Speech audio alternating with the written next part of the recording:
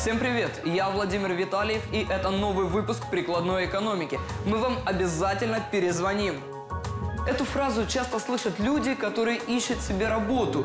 Реальный смысл этих слов объяснять не нужно. Причины отказа не всегда очевидные. Вас могут не взять на работу, даже если рекрутеру не понравилась ваша страница в соцсети.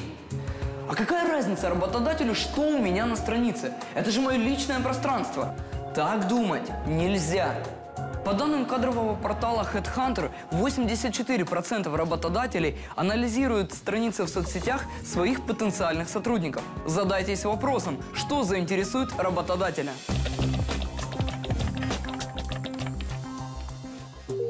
Итак, первое, что нужно запомнить. Для многих работодателей страницы в соцсетях стали уже дополнением к резюме. По ним рекрутер может узнать не только ваши профессиональные качества, но и характер, привычки и образ жизни. Поэтому и смотрят аккаунты в Фейсбуке, ВКонтакте, в Одноклассниках, в Инстаграме и в Твиттере. Там можно увидеть, как вы проводите свое свободное время, что читаете, с кем общаетесь, чем увлекаетесь, и сделать вывод, насколько вы разносторонний, коммуникабельный, конфликтный. Если вас нет в Фейсбуке, ВКонтакте или в Одноклассниках, то работодатель не будет на это негативно реагировать. Только если вы не планируете работать специалистом по соцсетям. Но правильно заполненный аккаунт может улучшить вашу репутацию в глазах работодателя. Зачем упускать такую возможность? Скажу больше. Иногда страница в соцсетях – это не только дополнение к вашему резюме. Она может полностью его заменить. HR-специалисты уверяют, что есть три пути поиска потенциальных сотрудников. На сайтах по поиску работы – через знакомых и в социальных сетях.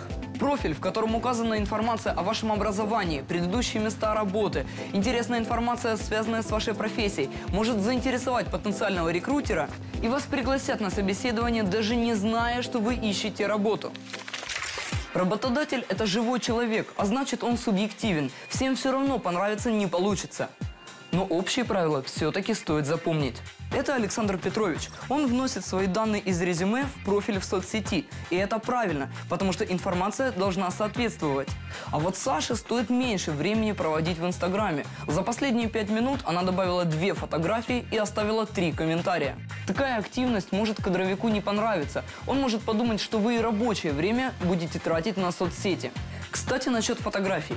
Есть мнение, что откровенные снимки, например, на пляже, могут стать минусом при проверке кандидата.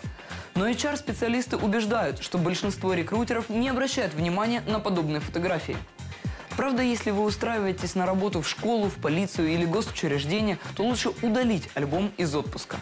А вот по Руслану сразу видно, что он юрист. Он подписан только на профессиональное сообщество и постит информацию только о работе. Если бы я хотел нанять юриста, я бы взял бы на работу Руслана. А вот на страницу к Жене я вообще не могу зайти. Она заблокировала доступ посторонним к своему профилю. Но это уже слишком. Я понимаю, если бы Женя скрыла личную информацию, но фотографии и тезисы выступления с конференции могла бы и не прятать. Даже видео, где Женя играет на фортепиано, стало бы плюсом. Работодатель бы увидел портрет успешного специалиста, увлекающегося музыкой. Кроме профиля, важен и круг общения, друзья и подписчики. Если у человека есть профессиональные контакты, значит он и в нерабочее время обсуждает рабочие вопросы и узнает для себя что-то новое. То есть развивается как специалист. Но есть и табу. На своей странице не стоит критиковать своего предыдущего работодателя. Потенциальному рекрутеру это может не понравиться. Не улучшит репутацию посты про политику или религию. Фанатиков вообще никто не любит. Представьте, если на работе один из коллег будет заводить бесконечные споры. И последнее. Не пренебрегайте грамотностью. В документах я же пишу грамотно, а соцсети никто не проверяет. Ошибаетесь. Безграмотный человек сразу вызывает отторжение. Подведем итог. Если у вас нет страницы в соцсетях, то ее желательно создать и правильно заполнить. Я вам в этом помогу. Для начала нужно ввести свои основные данные – имя, фамилию, дату и место рождения и ссылки на аккаунты в других соцсетях. Обязательно нужно указать, какую школу и какой университет вы закончили. Предыдущие места работы тоже нужно указать. Это будет интересно потенциальному работодателю. Далее, расскажите о себе.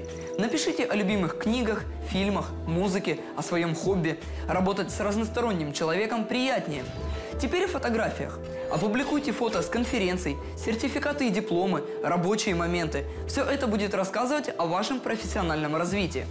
Подписки. Найдите как минимум десяток профессиональных сообществ и подпишитесь на них. А там уже сможете найти людей с общими профессиональными интересами. Добавьте их в друзья, познакомьтесь. Возможно, кто-то из них станет вашим будущим работодателем.